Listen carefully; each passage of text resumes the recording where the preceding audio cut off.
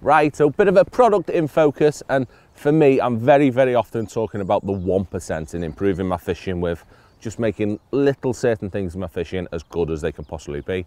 And what more to focus on than using the correct Dacron connectors? I mean, I've been a big fan of Dacrons for forever and ever, really. I mean, it's definitely my preferred way uh, of attaching my rig, be it because of what would say versatility being a big thing and also looking after your elastic. I find that by using a Dacron when using hollows and uh, hybrid style elastics, then they definitely, definitely look after your elastics a lot more than directing your rig, than attaching your rig directly to it. Definitely not a, a big fan of that when it comes to doing that. And with the product launch, definitely we had to incorporate some super short Dacron connectors. It's pretty much what I've been using, making myself for a long, long time, I'd say. Probably three or four years I've been using the, the really, really short version of them. And what this was about is me not having to make them myself. So I really like it. The bosses at Matrix have brought these out in the medium and the large and they just make attaching your elastic really, really, really simple with some key benefits, which I'll babble about now. Which firstly, what I'm after is when it comes to the Dacron, the material that you use, really, really, really important. Because what you want it to do is keep it right out the way of my pole.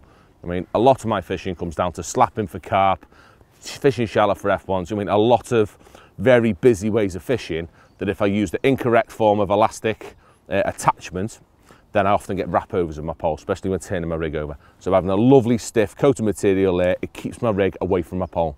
Really, really, really important. But what it also had to do as well is maintain a, a fairly tight contact between my, my line and the float. Uh, sorry, not my line and the float, my line and the connector, keeping it as close as possible so the elastic comes into contact with the fish as quickly as possible. Yeah, when using great big long floppy um, Dacron connectors, you tend to find that they turn over before you respond to the bite. So the fish feels resistance, let's go your bait.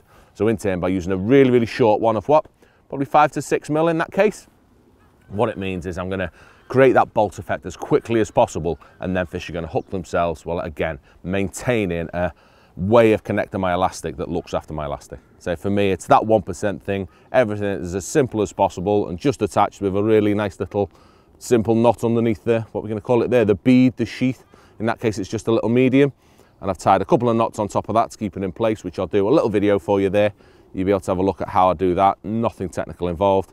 I say the bead goes over, covers the elastic and creates for me the perfect simple way of attaching my elastic that looks after anything and possibly saves me a few quid as well because I have to replace my elastics a little bit less often. So well worth a look, super short Dacron connectors.